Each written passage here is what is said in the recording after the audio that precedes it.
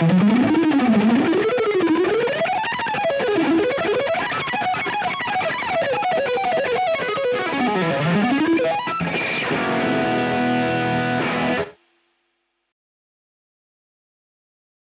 there guys, it's Rick here. Hope you're all doing extremely well out there. I know I am.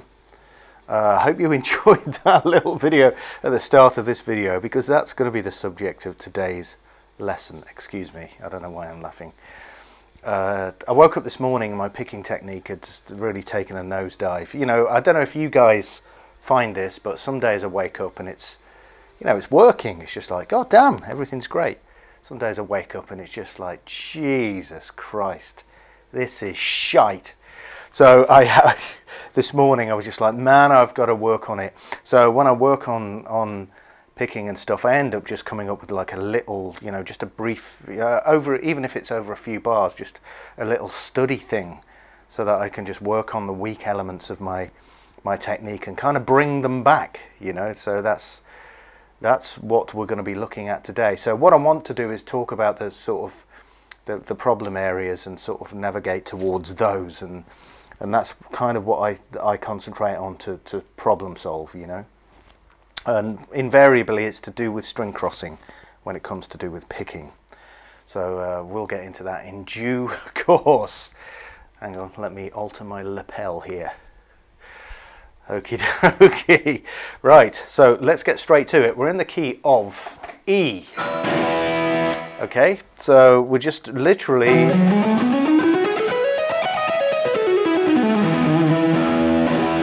taking the notes from the key of E. So the first part of the um, of the sequence is just an ascending E major scale. Okay. What we do is when we shift positions, we use the index finger. Okay, so uh, down, up, down, up, down, down, up, down, up, down, up, down, up, down.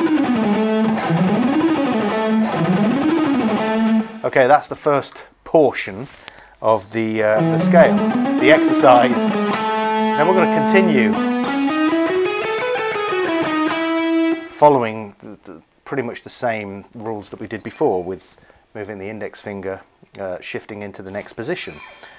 So down, up. I'm primarily using economy picking here. That's kind of what I veer towards uh, technically. I'm not a great alternate picker, so you know I much prefer economy picking. So that's kind of my first port of call, so to speak, when I'm, when I'm dealing with picked lines, such as this. So.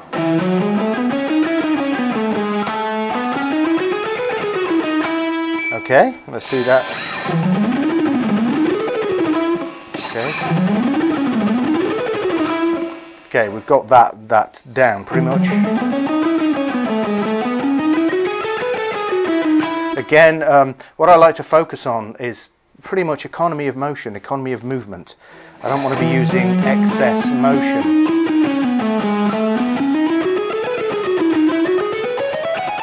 I also like to keep it stay as relaxed as possible. I will talk about this for the rest of time. You know, it's so important to just stay as relaxed as possible when you're playing. Uh, you know, it's, it's, really, it's really beneficial. You know, um, you know, tensing up excessively is just not going to help. So. Uh, now this portion of it is straight ahead economy picking. Down, up, down, down, up, down, down, up, down. Three notes per string. And then we get this little chromatic thing at the top. One, two, three, four.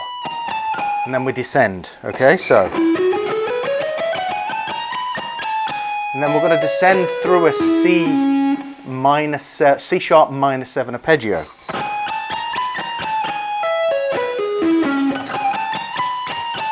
Down, up, up, down, up, up, down, okay?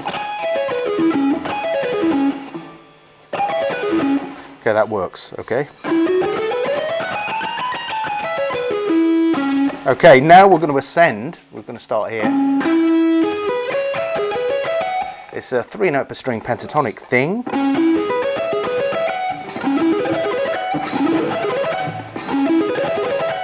up, down, down, down, up, down, up, down, down, up, down, down, down.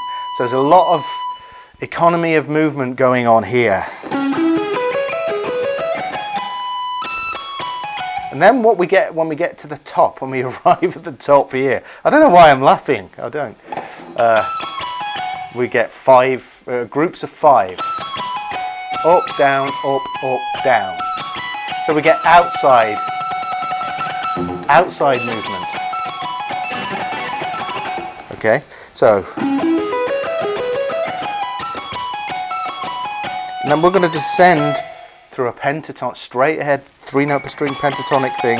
Well, it's actually three and then two, but I'm just thinking of it as like a three note per string pentatonic thing, you know.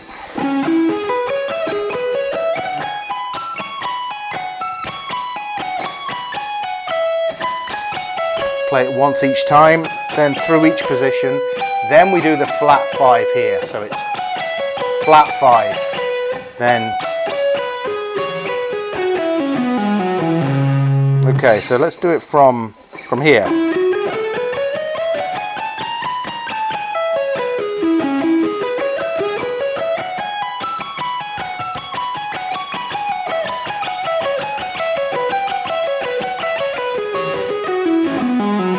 Uh, I think I'm doing some some uh, pull-offs here when descending. I'm not picking every single single note, but you know, just experiment with it. You know, you're free to experiment something along those lines.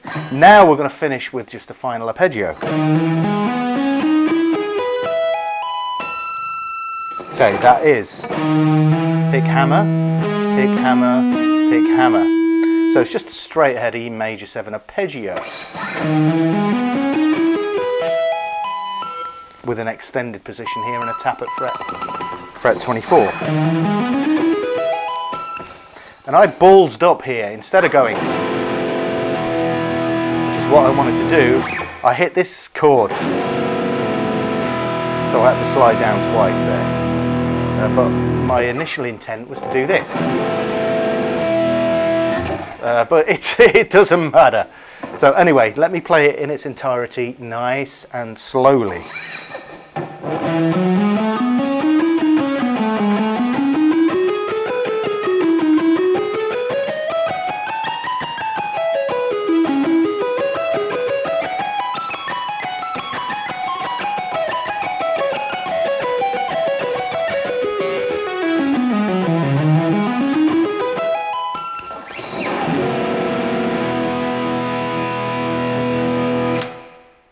There we go, that's the whole thing. Anyway, I hope you've enjoyed today's little lesson. Uh, you know, it takes quite a while to work on those specific problem areas, and it's all to do with string crossing. You know, crossing strings is an absolute pain in the ass. But, you know, it's worth, it's enjoyable to work on, you know. I like getting the reward from it when, um, you know, when I find a solution to a problem, you know.